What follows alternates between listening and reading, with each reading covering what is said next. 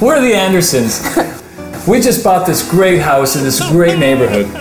For the most part, this is an excellent place to live. And to raise a family. We don't have kids. Yet. So we really want to spend some time together and have some fun.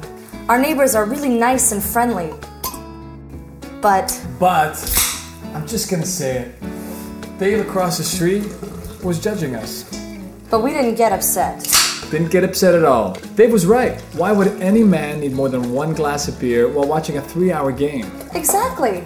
And why would any sensible woman want more than one glass of her favorite Merlot when she's talking to her sister on the phone from Seattle? No, Dave's warranted and completely appropriate criticism pushed us in the right direction.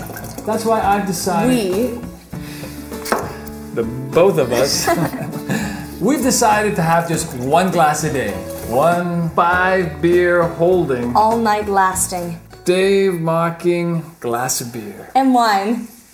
Thanks, Dave. Problem solved with Kotula's.